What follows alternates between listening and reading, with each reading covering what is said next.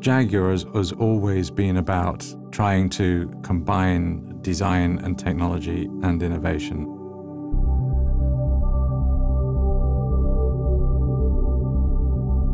For the 75th anniversary of Jaguar, we wanted to try and show something, we wanted to try and demonstrate something that expresses what Jaguars of the future could look like and be like.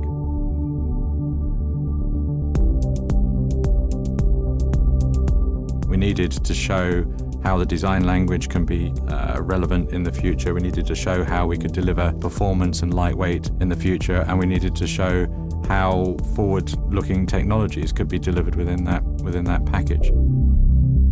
The key message here is it needs to be a sustainable supercar, a, a relevant supercar to today's environment. So it's performance with, with clearly with that responsibility as well.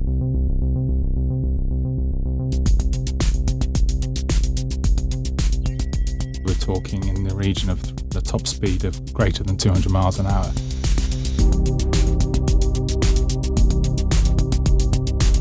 You can use it under fully electric mode. That's when the vehicle is operated purely from the battery cells.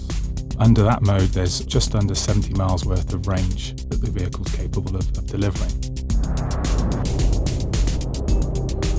Then there's the charge sustaining or, or range extended use.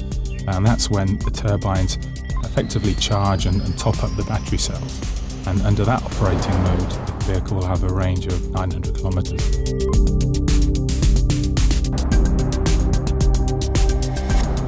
when the turbines power direct to the four electrical motors which are in each of the four corners of the vehicle. Uh, and that's how we deliver the 0 to 100 kilometres in 3.4 seconds.